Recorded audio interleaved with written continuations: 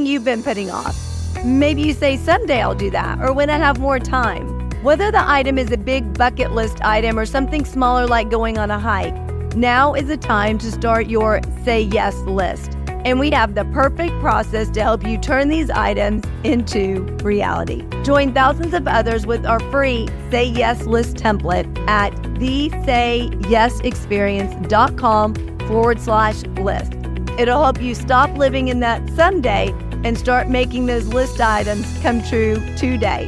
So download it now at thesayyesexperience.com forward slash list. Welcome to the Say Yes Experience podcast, where we inspire you to get out of your comfort zone and into possibility. Our mission at the Say Yes Experience is to empower 10 million people to say yes. If you're new here, welcome. We're thrilled you're here. I'm Jessica Rector. I co founded the Say Yes Experience with my then nine year old son Blaise, based off his idea to let's just say yes to things. I'm one of the top experts on burnout, and companies and conferences hire me to present on mental health, wellness, and burnout prevention. As the number one best-selling author of 11 books, keynote speaker, and a burnout specialist, I've seen so much with our clients. The Say Yes experience was started to help you really start living, to do the things that light you up, have more fun, and turn your dreams, or what we call Say Yes list items, into reality. So thank you for investing in yourself and being here. Now let's make it happen. The reigning Miss Boston is determined. Being crowned Miss Boston wasn't an easy task, but Arcadia Ewell didn't give up, and she's not giving up on what she's most passionate about either. She is a passionate advocate for ending dating and domestic violence.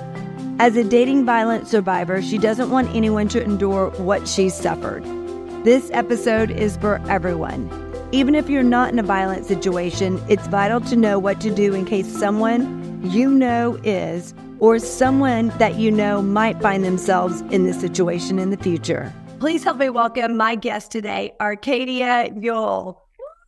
Welcome to the show, Arcadia. We're so excited you're here. Thank you. Thank you so much for having me. I'm really excited. Of course, of course. We're excited to get in it because you are currently Miss Boston, which is extremely exciting. So tell us a little bit about that journey and how that came to be.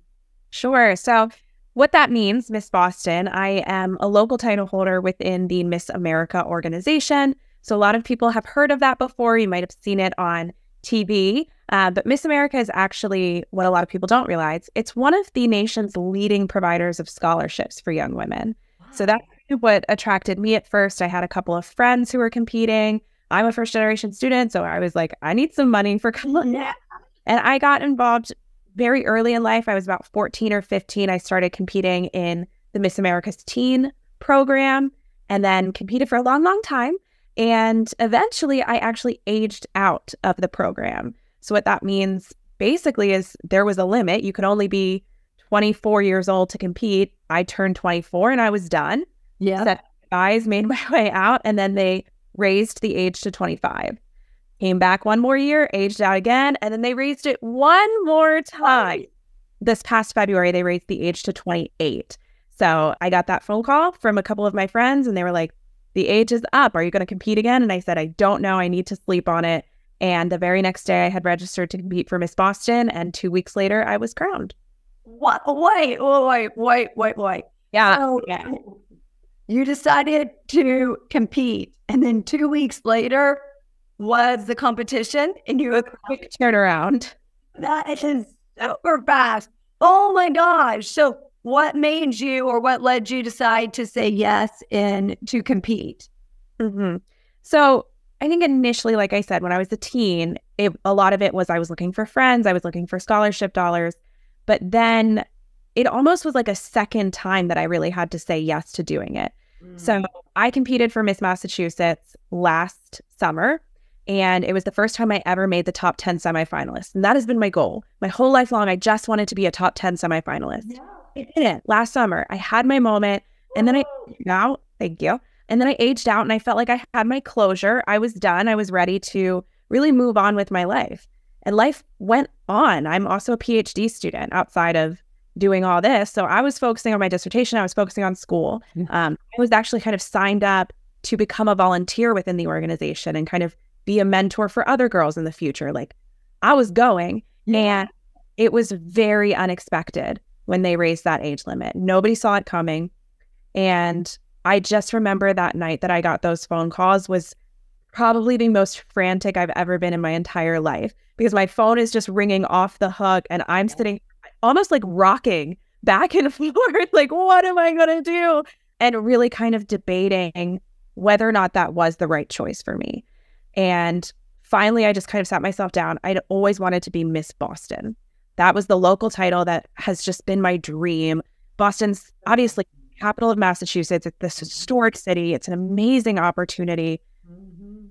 I didn't want to I didn't want to look back and say I could have gone after an opportunity and I chose not to. Mm-hmm.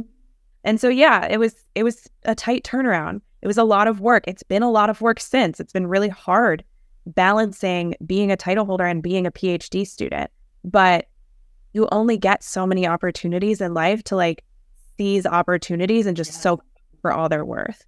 I love it. And especially because that's been a dream. It was almost impossible. I mean, very, very hard to not do it if that's been a dream of yours, but then also balancing so many things. So you only had two weeks to prep for the competition. What did you, what did those two weeks look like?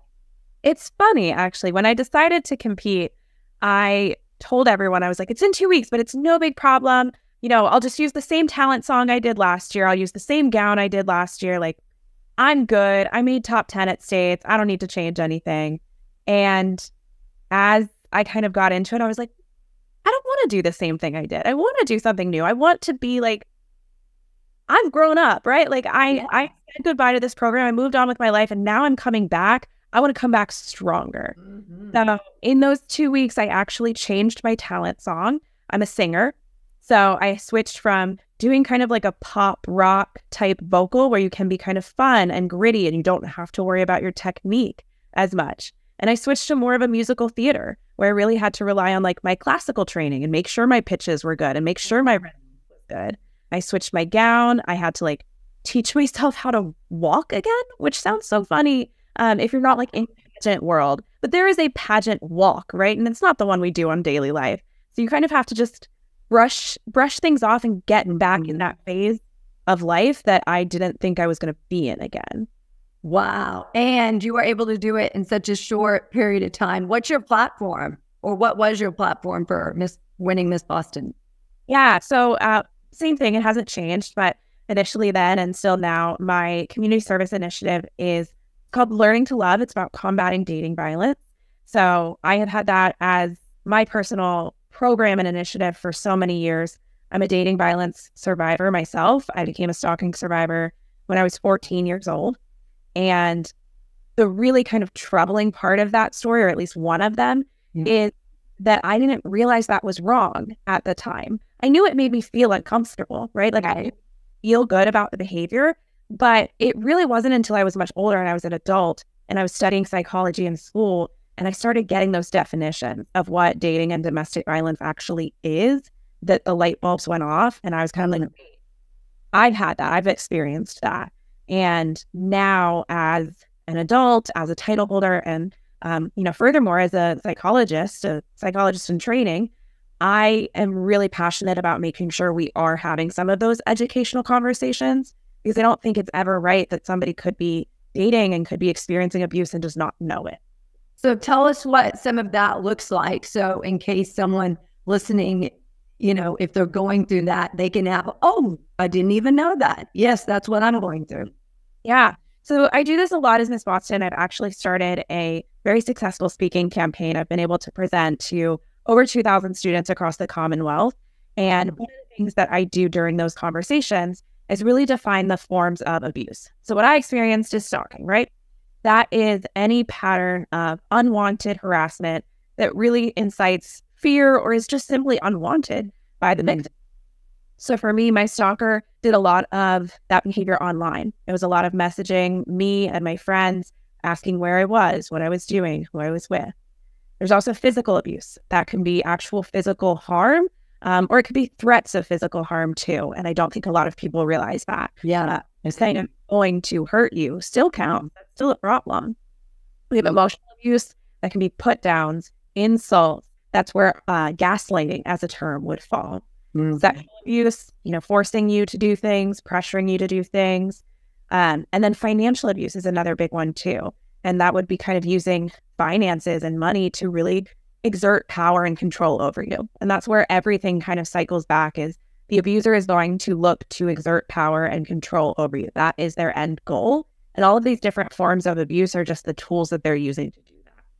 That is crazy. Some of those I would have never, I mean, like financial abuse, I never even would have thought of that. So it's so important to get those things out. So when people are going through them, they can say, oh, that's me. I didn't even know that existed. Or, oh, wow, someone can really do that. I think I might be in that situation. Or my sister or my, you know, my son or, you know, someone might be in that situation. And I think oftentimes we immediately go to women that that happen, that those things happen to, but those things can happen to men as well. Have you found that to be the case?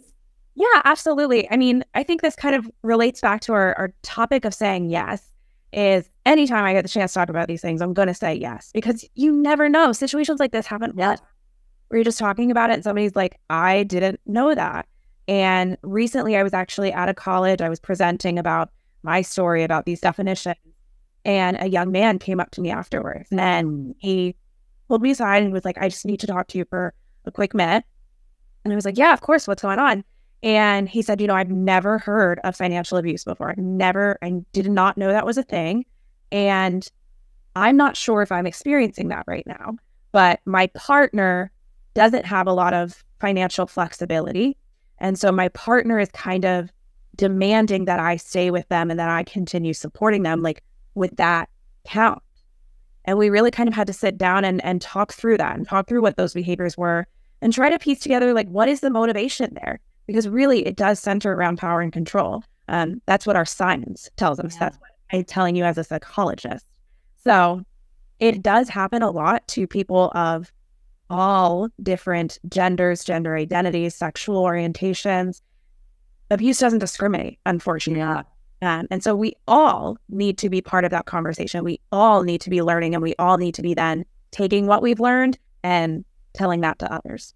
Well, and I think a vital and important part of what you're talking about is talking about it. The more we talk about it, the less shame that is associated with it, the more people feel open to saying, okay, well, maybe that's happening to me or talking with someone about the situation. Because I would also think that there's shame involved around it. So people don't want to talk about it. People don't want to acknowledge it because they might feel dumb or stupid. Like, how can I let this person do this to me? Or how do I not know better? I should know better. I'm a smart person. And so then they just don't talk about it. And then they just stay in that situation or they're too scared to find the resources or the help to get out of it because they don't want to talk about it and admit that it's happening. And then it just keeps perpetuating the problem where they stay in that situation and then they create their stories for themselves saying, I don't know how to get out. I can't get out. And so they keep staying in situations like that and not having or knowing even where to get those resources. Sure. And I think that's especially true for teens too. And teens get overlooked a lot when we talk about this topic because our mind goes straight away to like husband and wife dynamics or, mm-hmm. you know, couples that are living together. But in truth, it does happen to teens. And that is, that adds so many difficulties let's say you're dating somebody and your parents don't allow you to date. So they don't know that you're dating them. And all of a sudden you're in this abusive situation, but you don't feel comfortable telling your parents because that's mm-hmm. going to cause conflicts there.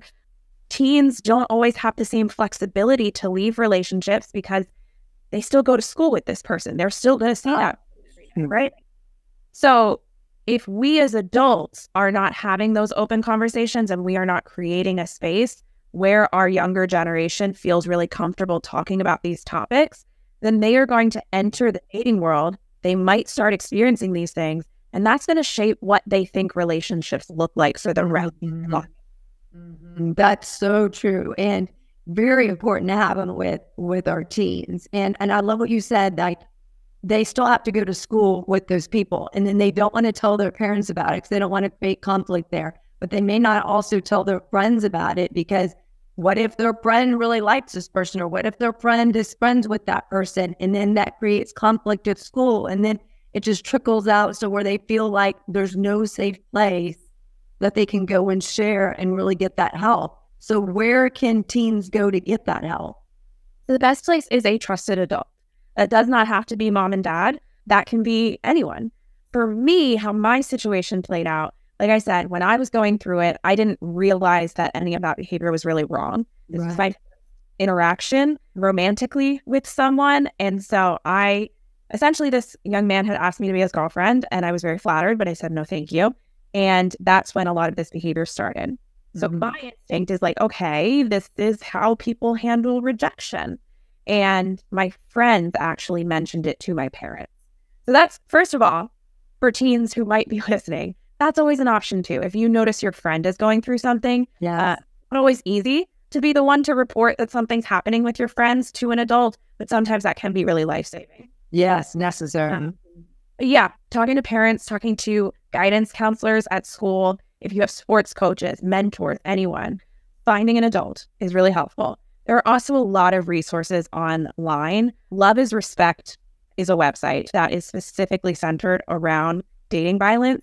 And it's this great website. You're going to get a ton of information. You're going to learn how to safety plan. You're going to learn how to identify healthy versus unhealthy versus abusive and they have a lot of great resources that they can kind of send things out to you. And the last one that I'll mention, actually, I serve as an ambassador for BlingSting, which is the industry leader for like cute personal safety devices. And so that means like rhinestoned or sparkly safety alarms or pepper spray, like that. Because taking taking control of your personal safety doesn't have to be a scary thing. It can be cute keychain that you put on your backpack and you have it there and the worst case scenario is that you never have to use it. And that's not a bad situation. Uh, best case scenario is it gives you a little peace of mind and a little bit of safety when you're walking around. Right. So, what is a safety plan? Great question. Do you want to start saying yes, but you just don't know where to start? And oftentimes, when we don't know where to start, we just don't start. So, we created an ebook just for you we put together 101 ways to say yes in this ebook. Ideas big and small, things that only take a small amount of time, like one to two minutes. Whether you're saying yes to yourself, in your family, relationships, or pushing yourself lovingly outside of your comfort zone with adventures, it's all made to really help you become more of your rock star self. So you can get this ebook at thesayyesexperience.com forward slash book, B O O K.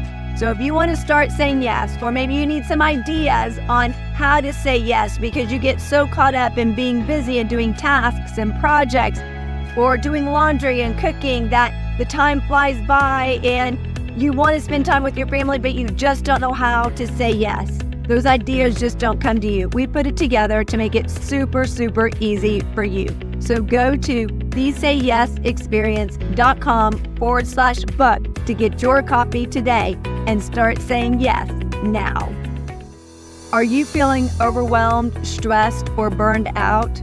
We get it. You're not alone. In fact, according to our research, 79% of the workforce is in burnout, and almost half are in extreme burnout. In fact, it's the number one reason why people are leaving organizations. They're burned out. They're looking for something more. They're looking for something better. But it doesn't have to be that way. We have your solution. It's called Blaze Your Brain to Extinguish Burnout 52 Keys to Prevent, Breakthrough, and Eliminate Burnout. You can find your copy at jessicarector.com forward slash store. Now, this is a great tool that you can use with yourself, with your colleagues, within your organization. Everyone can get one, and you can go through one a week with them. And at the end, you can say, What was something that worked this week? What was the success you had? So you can champion and encourage each other. You can also ask what were the challenges and issues that came up so you can mastermind and brainstorm around those to keep those from coming up in the future. So make sure you get your copy at jessicarector.com forward slash store. All books are autographed with a personal message just for you. So, a safety plan can be a couple different things based on context. We talk about safety plans when we talk about depression too. But for a abusive situation, a safety plan is going to be really sitting down and thinking through your options ahead of time.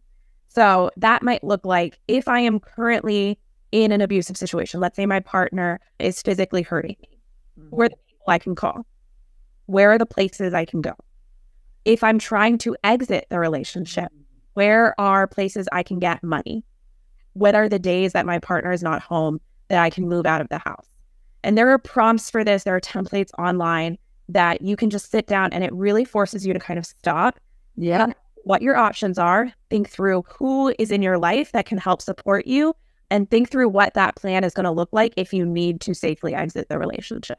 Well, and I think just thinking about exiting a relationship when you're in a situation like that can be very overwhelming, right? You don't know what you don't know. You don't know where you can go that is going to be safe. You want to be safe. Are they going to come after me? Are they going to find me? Like, what's going to happen. So you tend to be, I would think, on high alert with everything. But the last thing you're really like focused on is creating that plan, but also creating it in a successful way. So I love that there's things out there for them to like a template for them to go through step by step to make sure that they've worked everything out figured out all the answers to the questions that are going on in their mind. What if this happens? Or where can I go? Or how can I? All those kind of things for them to get answers so they also feel more safe and secure leaving that situation. Well, and as an advocate in this realm, the number one question that we always get asked why didn't she leave? Why didn't he leave? Right? It's it's such a frustrating question to be asked because it paints this really complex moment in time as a simple just decision. And it's mm-hmm. especially when we're talking about people who have kids involved. Having to escape with your children, that's a whole different ballgame. And what we know as scientists, what our research shows us, is actually leaving the relationship is the most dangerous time. That is when we actually see the most homicides. So that is why it's so important that A, we are showing compassion to victims when they are trying to exit. B, we're providing them the resources and the supports that they need to safely exit. And then C, as a society, we're providing them with safe places to go, whether that be women's shelters, whether that be affordable housing, things like that, so that they can kind of get away from that situation and start over. That, I mean, that is just mind boggling when you're thinking about that's when like most homicides happen is when there people are trying to get away from that place. And then when you put kids involved, then how are they going to adapt to it? How are they going to respond? Especially if, you know, a lot of kids love that other parent, love the other person in the relationship. So how is it also going to be for them to leave? And as a parent, you recognize, well, that may be putting my kids more in harm's way because, especially if the person's violent, right? That's going to be putting them more in harm's way. And as a parent, you don't want to do that. So I can see oftentimes how people stay in relationships like that just because not just the fear, but the fear compounded with, I don't want to put my kids in more harm's way, that something even worse could happen to them. Yeah, abuse has this really interesting, uh, interesting is not the right word, this really unfortunate kind of trickle down effect in that it doesn't just necessarily affect the victim, but it does trickle down to kids more often than we realize. Even just talking about the escape process, right? Yeah. A lot of times, I actually worked in a domestic violence shelter for a couple years. I worked with the children specifically in that shelter. And one thing that we noticed right away we would do kind of psychoeducational groups with them. We would do playtime activities with them. And we always brought them to the playroom in the shelter.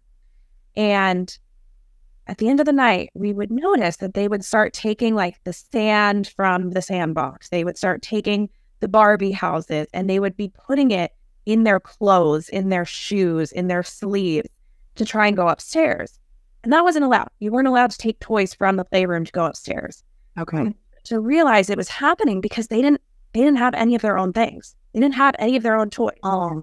lot of times you're having to leave that house with the clothes on your back and maybe one or two other sets of clothing. The kids aren't getting their favorite toy. They're not getting their favorite stuffy because they have to go that quickly and that suddenly. So we we ended up end of that story is we did a toy drive and we were able to donate about 400 toys so that each kid got their own set of Yeah. toys, which is awesome. But we do see a lot of problems with you know kids having poor emotion regulation coming out of that, not knowing how to express emotions, not knowing how to deal with stress.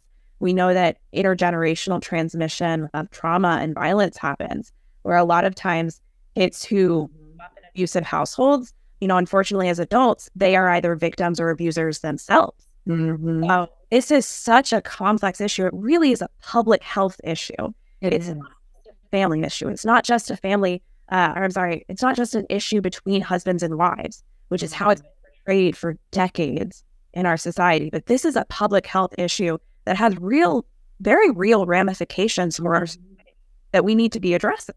Well, you gave me goosebumps because when you think of it, I'm very passionate. I, yeah, I mean, you gave me goosebumps because if you think of the impact that it has on kids just in that moment, if kids are not getting the help they need, like emotional, mental help that they need, how are they processing all that that's been going on? Not just the abuse itself, but the aftermath of that, right? Of the the long term aftermath of the abuse, of leaving the situation, of living in a for example, a shelter, not having their favorite things, you know, maybe living in fear or being in an environment where the parent they're with is living in fear, constantly on higher, li- constantly looking over their shoulder. Like all those things may seem like just one, okay, well, you're you're constantly looking over your shoulder. The kids pick up on all those things and then they take that with them. So if they're in second grade, they take that with them in third grade. And then it, they start, it starts impacting those stories that they tell themselves, their belief in themselves, their confidence, all those things, how they build relationships, how they communicate, all those things. And then they take that with them as they become adults and because they've never processed any of those things. And then how do they function in society as a teenager, as an adult, within a relationship, in the workplace? So it starts trickling out into every other area of their life too. So it's so important to help them get the help and to process situations as they're going through it. So you, so less chance that they're going to have those long term lingering effects. Yeah, and it's really interesting. This kind of ties into the work that I do within school and what I study as a researcher. I look a lot at stress and how stress can be passed down. A lot of people don't realize that. Uh, but when we look at our stress hormones, things like cortisol, the way that our body reacts to that and regulates that can be passed down to our children. And so we have this phenomenon called biological predisposition to stress. Mm. And so essentially what it means is if you had really stressed out parents, genetically you might be more predisposed to be reactive to stress. And so you Wow, I didn't know that. really interesting, isn't it? And so you might face more negative side effects of that. But one one reason I love this theory is because a lot of our talk today has sounded really, really sad and really upsetting and really very much like, oh, if you experience this abuse, that it's it's gonna be tough for you and it's gonna be tough for your kids. But what we see with biological predisposition is that those kids actually are really predisposed to benefit from interventions as well when we compare them to other children.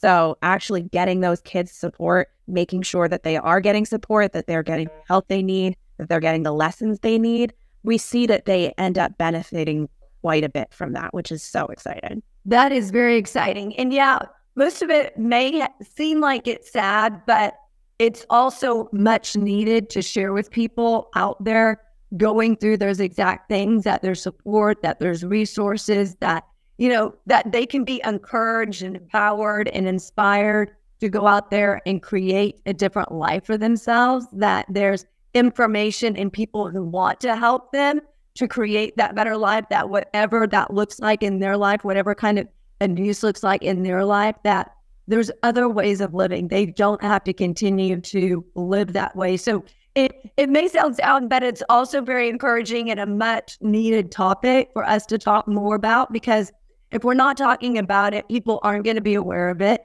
They're going to stay in the situation. And then what does that look like?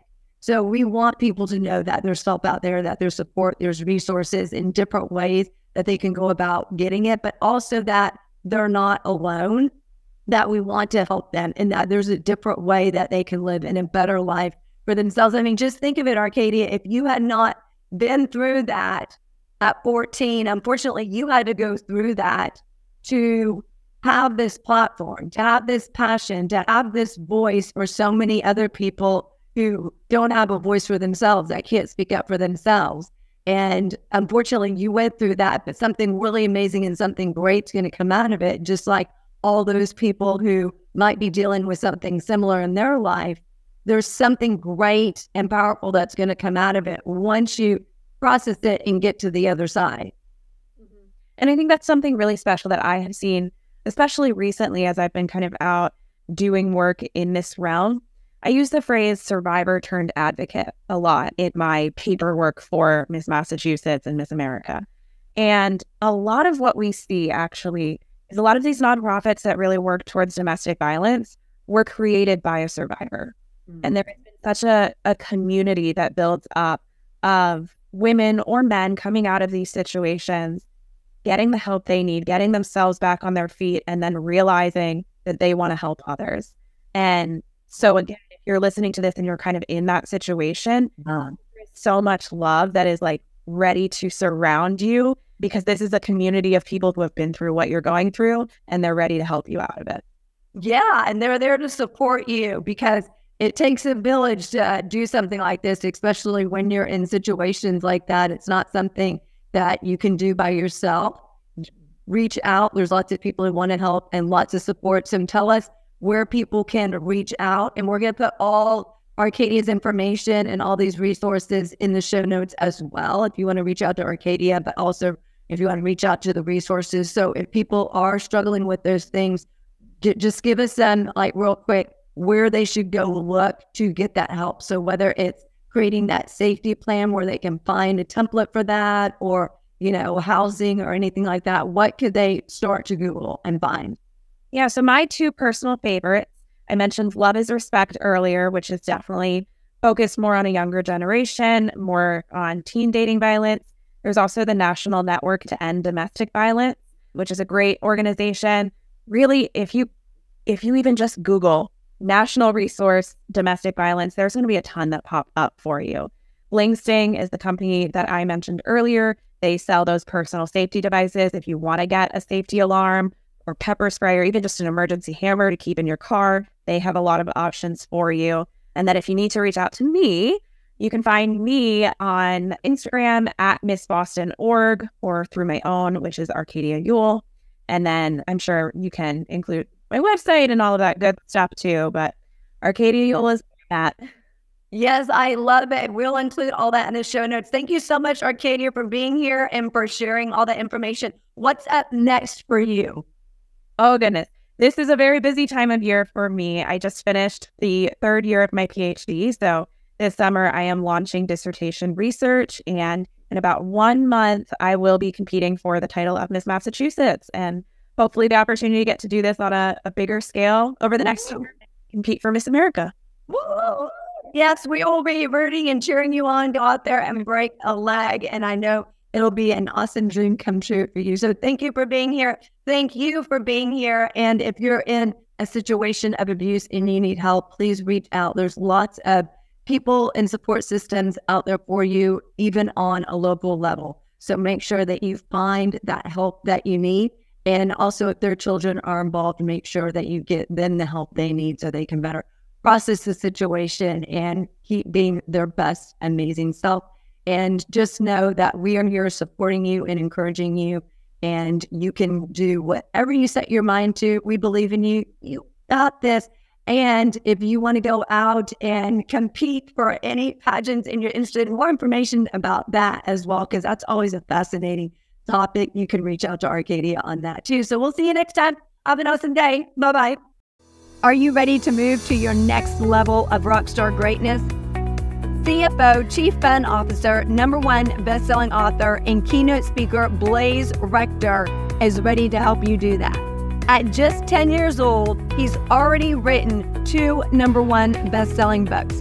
Through the power of storytelling, he uses lessons learned and shares strategies, tips, tactics, and tools to inspire, empower, and motivate you to live a more amazing life. So if you're ready to do that in your own life, grab a copy of his number one best-selling books at jessicarector.com forward slash store. And when you order your copies, he will personally autograph them and write you a message on those books before shipping them out to you to really inspire and empower you in your life. These books are great for adults and kids alike. So if you're ready to move to your next level of rockstar greatness, make sure you grab your copy at jessicarector.com forward slash store.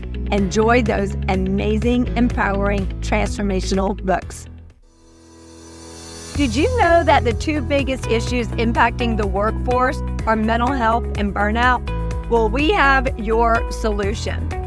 The more that you feel burned out, the more it impacts your mental health. The more your mental health is impacted, the more it leads to burnout. So it's a vicious cycle that goes around and around, but it doesn't have to be that way.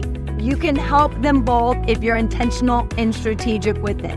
We have lots of resources for you at jessicarector.com forward slash store. One that I want to highlight that really enhances your mental health is Tame Your Brain Game 52 Tips to Turn Negative Thoughts into Positive Action. Now, research shows that 80% of your thoughts are negative. No matter how positive you feel, it's the pattern and the habit that you've developed over the course of years, over the course of decades. And that can often impact your life how you show up, how you lead, how you communicate, how you engage, whether at work or at home. And then it also impacts a work environment. All you need is one NN or TT, negative Nancy or toxic Tim, to really impact that work environment. So if you are ready to enhance your mental health, get your copy of Tame Your Brain Game 52 Tips to Turn Negative Thoughts into Positive Action today at jessicarector.com forward slash store. All books are autographed with a personal message just for you. Thank you so much for being here. Check us out at thesayyesexperience.com. Our mission at the Say Yes Experience is to empower 10 million people to say yes. With your help in sharing our podcast, we can do that. Follow us on all social media at the Say Yes Experience and join our free community at facebook.com forward slash groups forward slash the Say Yes Experience.